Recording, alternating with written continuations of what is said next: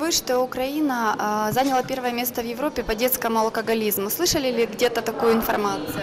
Почув цю інформацію від вас і не дивуюся.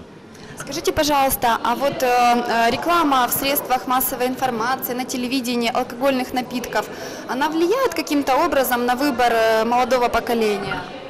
Я вважаю, що реклама на телебаченні, а також в інших засобах масової інформації впливає на вибір молодого покоління. Якими методами можна боротися проти дитячого алкоголізму? Я вважаю, що насправді дуже потрібно, щоб не було реклами алкоголю, а також так званих слабкоалкогольних напоїв, і в тому числі пива на телебаченні. Діти дивляться телебачення.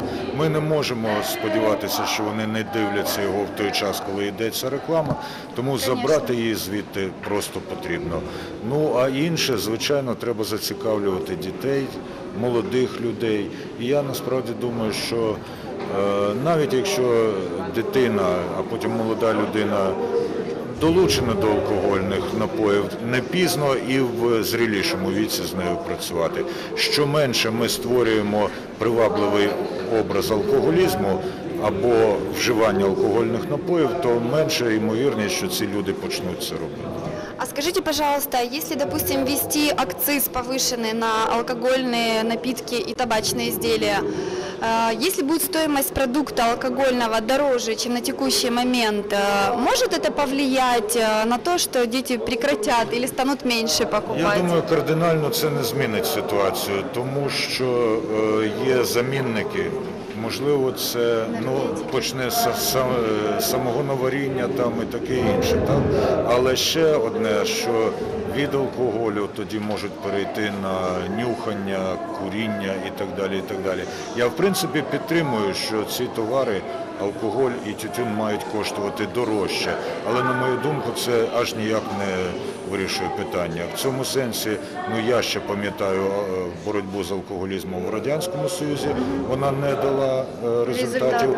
І мені розповідали, що в Югославії свого часу боролися з алкоголізмом, підвищуючи е, ціни на спиртне, а відтак зростали відрахування від продажу на боротьбу з алкоголізмом. І виходив так, виходило таке замкнене коло. Да, да. Що більше продали спиртного, то Тим більше більше грошей денег на для боротьбу. боротьби. Але це Да, не тоже є не мене. А вы выход. сами пьете? А если пьете, то что? Я переважно п'ю каву. Я більше 17 років не вживаю алкоголю взагалі. Вы наш человек.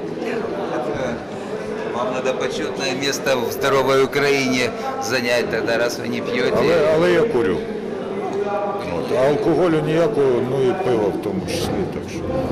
Мене, е, я е, люблю смак пива, я ціную смак пива. Я думаю, що я ціную смак вина в тому сенсі, що це теж виробництво винограду. От, але я радше все ж таки вип'ю соку або безалкогольного пива, е, або та, ніж е, то- того, де є алкоголь. І коли намагаються сказати, що є слабкоалкогольні напої або пиво, якщо їх вживати, то нема нічого страшного. Для мене це зовсім не доведено. Я думаю, що тут треба або так, або так. Хоча я припускаю, що е, може бути щось, чого я не А знаю. вы знаете, что у нас пиво крупные комбинаты не выпускают, как это принято по технологии, а выпускают химические напитки. Та багато чого я знаю, це не але, але, розказуйте, да? але доказів, доказів Ну, у да, это мене можно немає. доказать. Ні, ну у мене немає. Моє рішення було зумовлено іншими причинами, не хімічним складом і так У далі. вас дети есть? Так. Вживают алкоголь? Е, Моя е, старша дочка не вживає зовсім. Ну, ну так, А трошки. младший? Молодша теж майже не вживає.